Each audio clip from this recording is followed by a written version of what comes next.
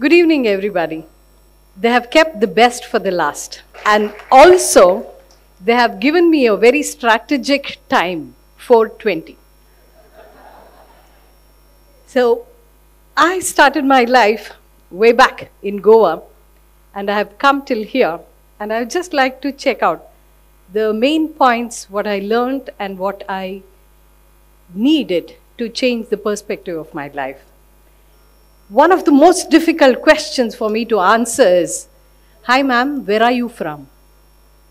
And I'm so thoroughly confused. I was born in Goa. I was brought up in five different states. I've studied in eight schools, three colleges. I can understand and speak quite a few languages and have changed 28 houses. For me, every house is a new opportunity. The only constant in my life was my family. That was my home. That is what I carried with me.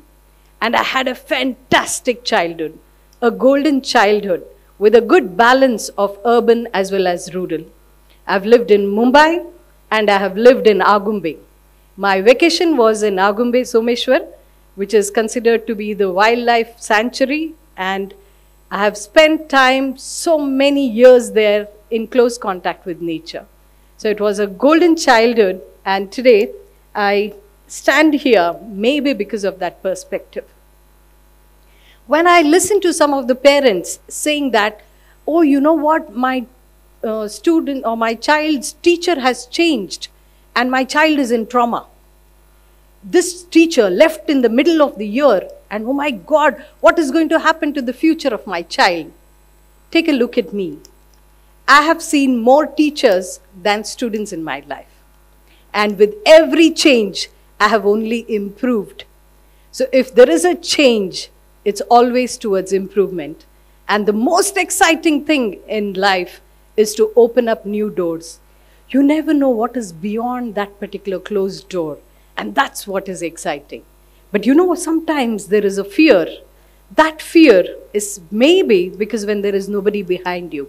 But when you have a family of four sisters, a mother, and a father like I had, I could open any door, any window, and it would always be a learning experience for me. And how did I end up what I'm teaching today? Frankly telling, I have no idea what I'm teaching today. But let's see what am I considered to be a specialist in. Every time I see students looking up at Google and searching and seeing that which is the best college, which is the best course, I'm going to do a future in this particular area. In retrospect, I find that the subjects chose me.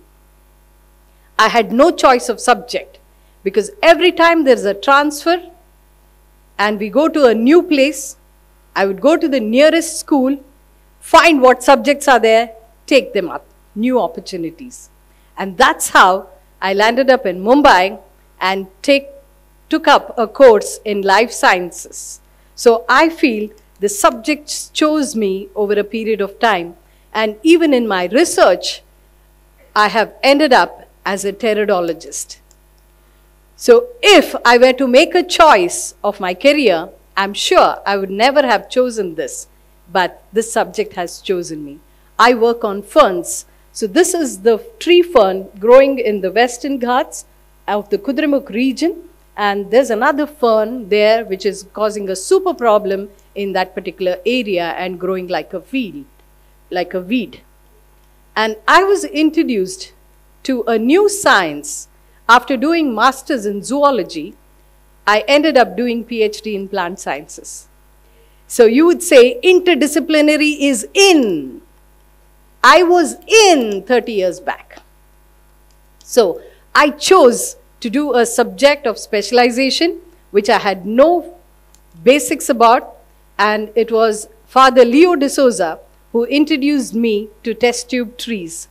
And this is my test tube baby that was born in the test tube, and today it stands in St. Teresa's Park in St. Aloysius College. And this was in 95, and yeah.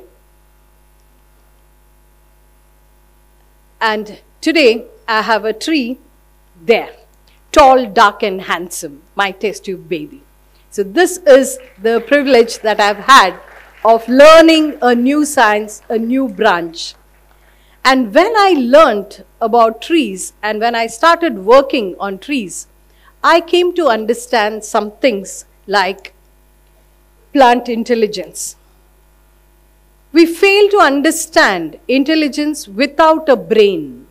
So, if I were to tell you there is an intelligence which is brainless, I'm sure some of you would say, I knew it.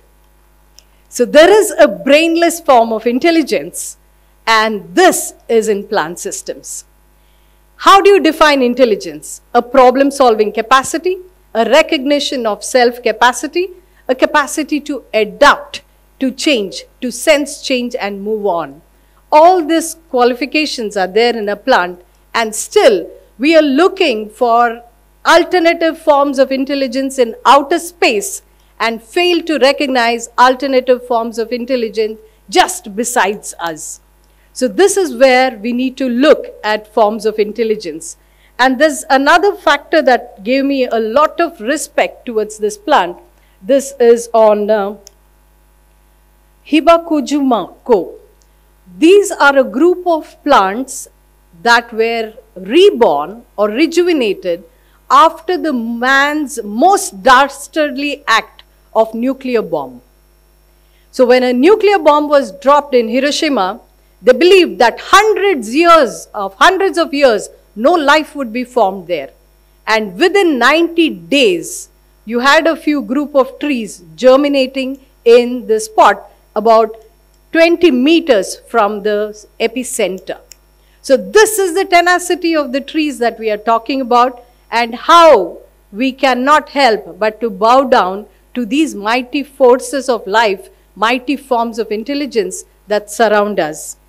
And as I worked with plant systems, I found that uh, I found that they are not always reacting to the way that we want them to react. So, for example, I wanted to work on a tree and make it to happen in a test tube, and it was not happening. And then, when my boss came and asked me, Smitha, what is happening to your results? And I said, Father, the plant is not cooperating. The plant is recalcitrant. The trees are very difficult to work with. And then I got malaria. I had to go to a hospital nearby to do a blood test, and I could escape from my work and go during the lunchtime. And there, there was a very frightened looking sister who poked. She said, Can you come after 10 minutes? I said, No, I have to get it done now. Then she poked me here. No blood. Poked me here. No blood. And then she looks at me nervously. Then I realize this is a student. And you know, I'm a teacher. So a teacher should always encourage the student. So I said, Yeah, yeah, come on, go ahead, go ahead. Okay. And then here she gives me a poke and then still not drawn a blood. Then she said, Can I try the other hand, ma'am? I said, Yes, go ahead, go ahead. Five pokes and no blood drawn. And then the matron comes and says, What are you doing? And then she shivers and she said, patient not cooperating. So I was paid back by the same coin on the same day, and there I was bleeding and laughing hysterically. And the sister was quite shocked what's happening because that's exactly what we do. I come back to class and I say, students are not paying attention to me, patient not cooperating. The plants are not working according to what but I never ever confess that I do not know to draw blood. I do not understand plant systems. We do not have enough resources to understand this, this form of intelligence. So instead of that, we say, patient not cooperating. So this is something trees taught me that to be patient and patient will definitely cooperate. And the next proposal that I intend to do for Mangalore City is a high density uh, tree planting that is going to happen. And in Mangalore, they're going to plant about 1 lakh trees, and I intend to do mapping and trying to understand what are the services these trees provide to a city.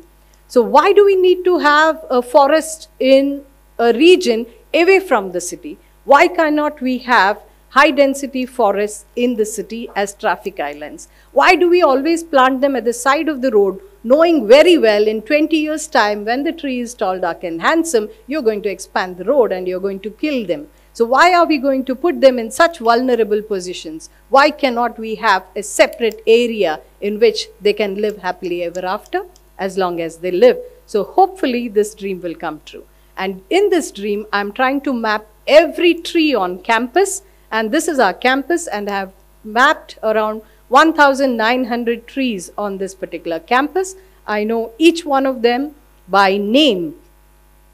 And this is how I go about learning some things in life. This is how we go about making research, trying to understand plant system. I'll give you an analogy here. Uh, we had an attender who came from a place where there was no road. Imagine a place where there is no toilet, no electricity, no road. There are such places still in India. And people from there come to the city looking for better means of life. So one such first generation learner was working with us as an attender. And one day my boss says, go and bring a taxi. And this boy comes and says, Smitha, taxi andre yenu? And then I said, what are you saying? Go outside the compound and you'll find many taxis there. I have a class. And I went ahead and took my class. I came back after one hour and this boy has not come back with the taxi and my boss is really upset.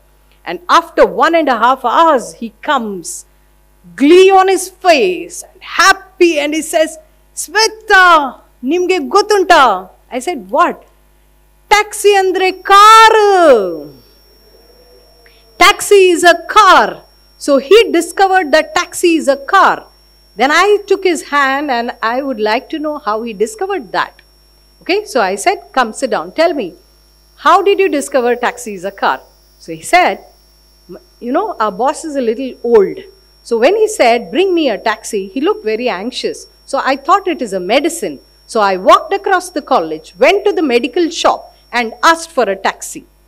And the medical shop person said, We don't get taxis here, you get taxi in Hampankatta. So he felt that this particular taxi may be a big medicine sold only in a big shop. So this must be a small shop. So he goes to that particular area, looks at the biggest medical shop and goes and asks for a taxi.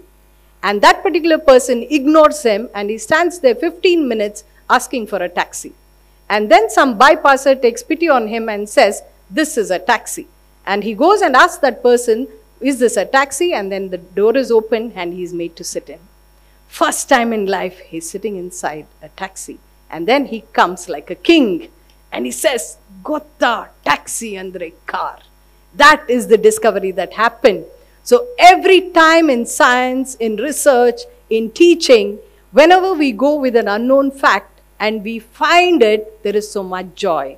You know what is even more fascinating after that? He comes and tells me why did you have to send me there? Taxi is there everywhere. Alli taxi untu, illi taxi untu, illi taxi untu. You can see the taxi everywhere. But when you're faced with a problem, you cannot recognize it anywhere. But once you know about it, you will be able to see it everywhere. So you will be able to understand the significance of these plants and try to see their importance everywhere once you know them.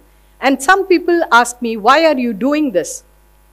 Is it a part of project? Is somebody asking you to do it?